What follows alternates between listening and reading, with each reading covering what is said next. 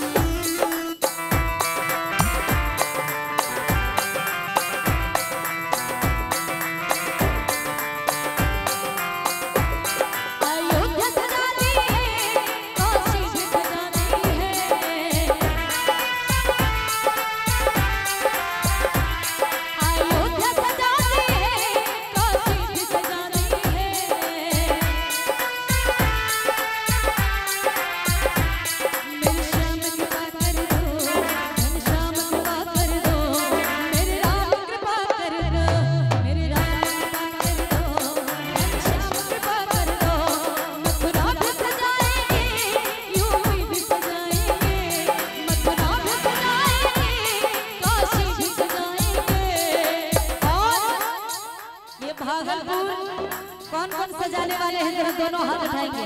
सभी को तालियों के साथ। मेरे राम कृपा कर दो, मेरे राम कृपा कर दो।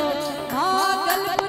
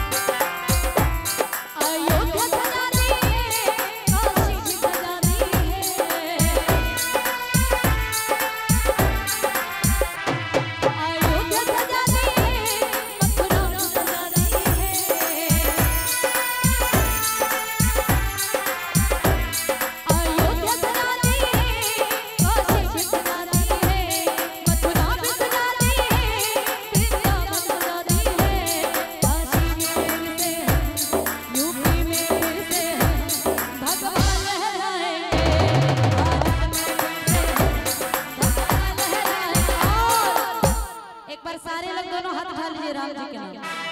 राम जी के नाम सारे लोगों का दोनों हाथ ऊपर होना चाहिए और एक मिनट तक हाथ नीचे नहीं होना चाहिए। सारे भक्त मिलकर यूपी में